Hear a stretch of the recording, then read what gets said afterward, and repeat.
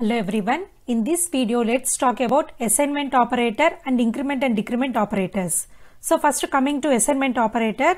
So the purpose of this assignment operator is uh, it is used to assign the values to the variables. So the most common assignment operator is this one equals to symbol. This is this we have to call it as assignment operator.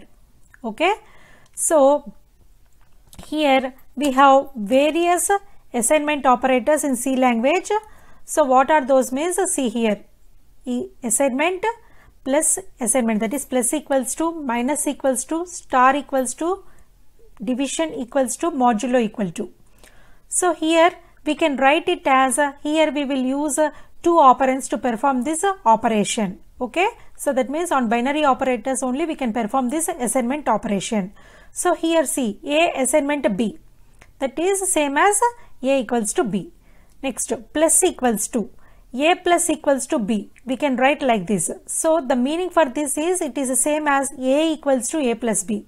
So this A equals to A plus B in shortcut we have to write like this A plus equals to B. So these two are equal. Okay.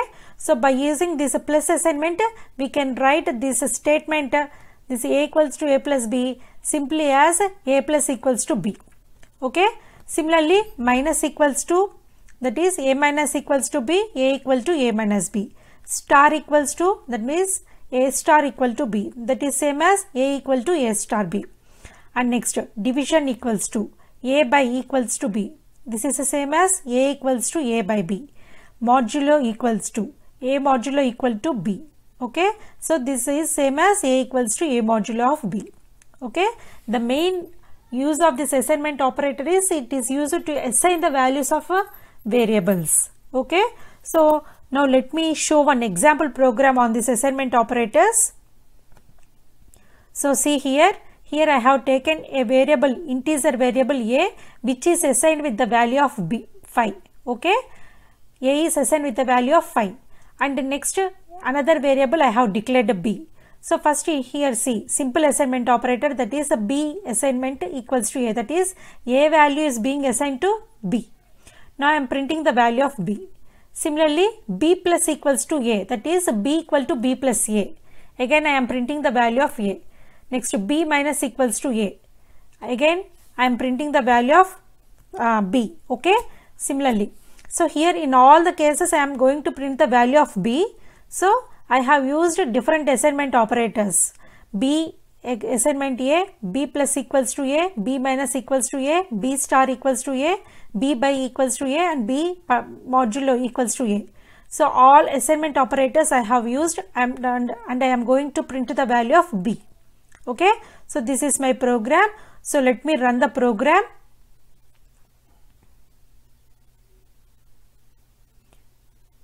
So see here. So this is my output. So if you see here, so first initially A is assigned with 5.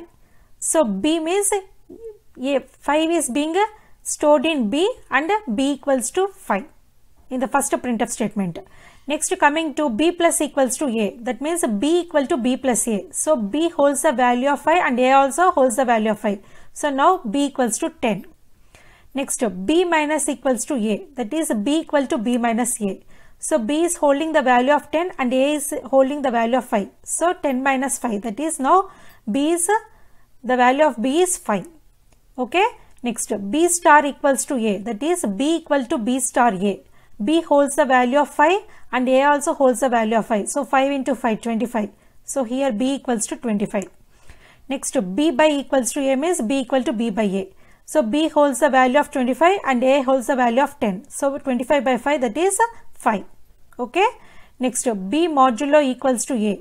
That is B holds the value of 5 and A also holds the value of 5. The remainder is 0. So B equals to 0. Okay. So like this we can perform assignment opera operations by using these assignment operators. So next coming to increment and decrement operators.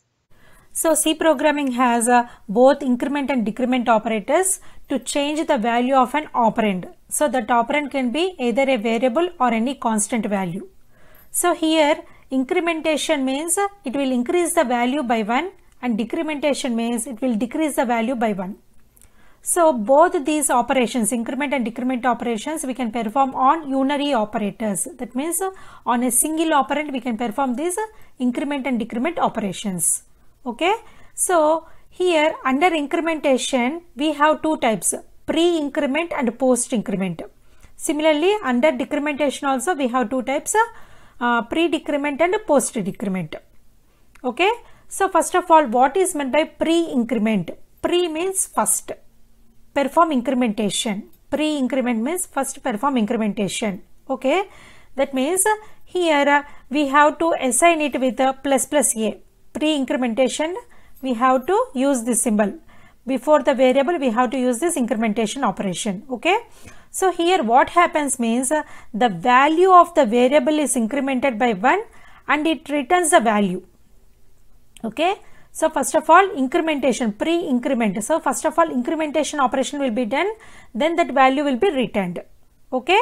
So see here a equals to 5 plus plus a means c plus plus a means first of all perform incrementation that means a equal to a plus 1 then a equal to 5 plus 1 that is a 6 that value will be returned to a variable. Okay. So next coming to post incrementation. So first assign the value and then perform incrementation. Okay, that means uh, first of all what happens uh, the original value will be returned. Okay, and then the variable variable is uh, incremented by 1 that is incrementation post increment. Post means perform later right. So perform later incrementation operation. First of all what you have to do you have to return the original value of the variable then perform incrementation. That is a post incrementation okay? So it should be represented by a plus plus. So here i got the variable i got a equal to 6 so that means a is now holding a value of 6 so now what what happens? That value is being written to a and then um, later a equal to a plus 1 that is a 7 a equal to a plus 1 means 6 plus 1 that is a 7 okay so in pre-increment, first of all, we will perform incrementation and then the value will be returned. Here what happens in post-increment, first it will return the value and then later it will perform incrementation operation. That is the difference between pre-increment and post-increment. Similarly, we have decrementation operation also, right? So in decrementation also, the same will be returned. That, that means that the same process will be taken. But here in incrementation, we are going to increase the value by 1. In decrementation, the value will be decreased by 1. So, pre-decrement, that means first decrement the value of variable by 1 and then return the value. Okay. Post decrement means first of all return the original value to the variable okay and then decrement the value by 1.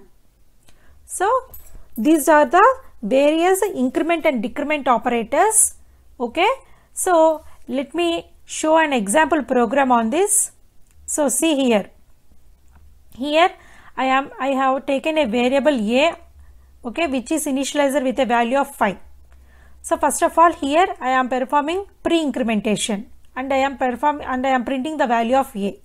Similarly post incrementation and I am uh, uh displaying the value of a.